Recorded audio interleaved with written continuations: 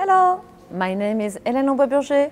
I am a research engineer at the Holcim Innovation Center. I am in charge of R&D on digital fabrication, focusing on 3D printing with concrete. For me, VES technology is a unique opportunity to boost the efficiency of construction, to deliver faster and smarter construction, to save material while providing improved performance. In a nutshell, it is building more with less and for all. I feel very lucky to have a job that is making a true difference for the future and for now.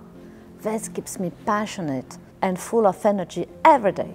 I have always loved exploring new fields, facing challenges and complexity to unlock new possibilities.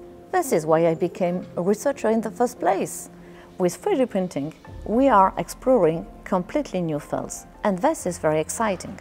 It is my job, together with my team, to question, to develop, and to try out new ideas, to keep building progress.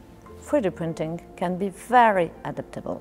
So we keep discovering new applications, new technologies, and every time it's opening a whole new set of possibilities. This can only happen if we work in full collaboration with diverse teams and partners from architects to contractors, material scientists, roboticians, regulatory authorities, startups and academics, and from all over the world. All of them have their own ecosystem, their needs and constraints. This is dynamic and it can be a happy mess. But it is also what makes it fun, because we will only be successful if we tick all these boxes together. So, of course, it requires a lot of energy. We have to be everywhere at once, and it does not always work out. But we always learn from it.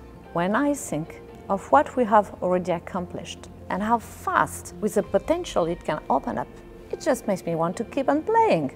And there is still a long road ahead of us. But thinking of all the solutions we are developing for people and our planet, that's the best energy boost.